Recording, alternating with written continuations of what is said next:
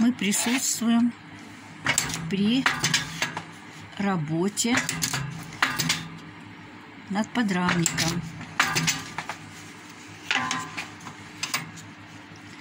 Вот такие скобы ставятся. Этот станок называется гильотина. Нет, да? Как называется? Подскажите, пожалуйста. Смеши. Ну, как называется этот станок? Забивает скобы. А забывай скобы, а ги- гильотина тут другая, да? Режет, которая раму. Покажите нам. Лариса, мне некогда. Честно. Так вот внедряться в процесс. Журналиста шпыняют. Ну, ничего. Вот. 30 на 40, да, все. Да, 30 на 40. Вот. Сейчас Два. Ане перезвоню, Вот спрошу. таких всё правильно. А, надо их это, завернуть. подожди. Завернуть, пожалуйста. Эстетика превыше всего. Ой, а щель не нравится мне это. Не Ничего, нравится щель. Ну, Не знаю даже. Она будет покрываться. Аня, 30 на 42 подрамника, да? Ну, уже сделал.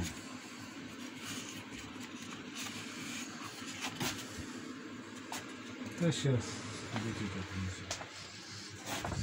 Вот она, гильотина. Переделаю это. Все-таки переделаешь, да? Да.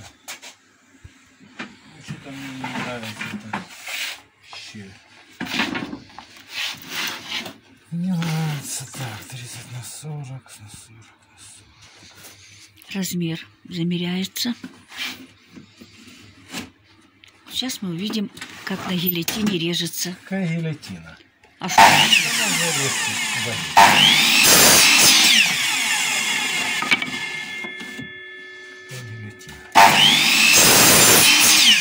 Вот так просто. Только палец не подставляйте, не дай боже.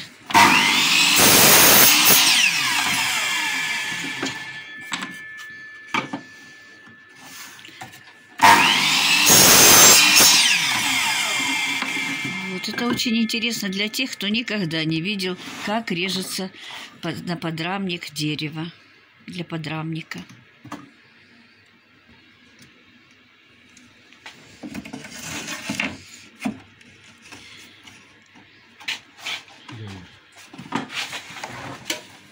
Поворачивать. А, да. угол другой.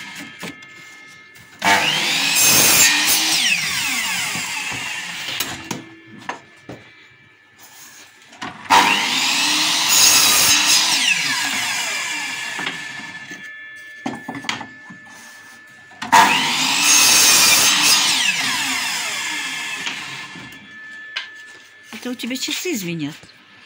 Или у меня в ушах звенит? Это А, это диск это звенит. Диск звенит, да? Я думала, часы полночь бьют. Вот мастер подумал, что его что-то не устраивает. Щель вот тут какая-то не такая. Будет делать заново. Вот как, до миллиметра, чтобы все было так, как надо. До миллиметра. А кто там к тебе идет? Коты? Клеится опять.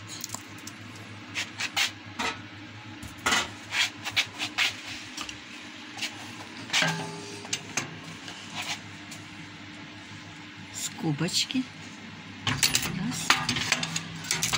Ногой нажимается. Вот это вы точно не видели, как ногой нажимается.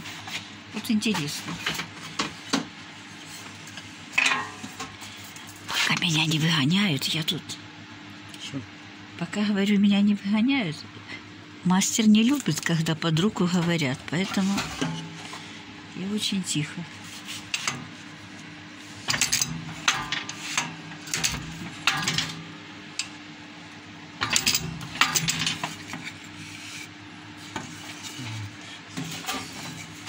Опять проклейка идет.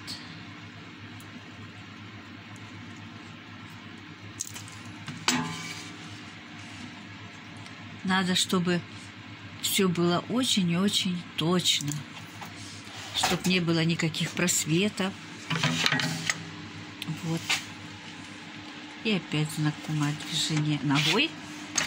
Вот ногой движение. И вот так. Вот так делаются подрамники.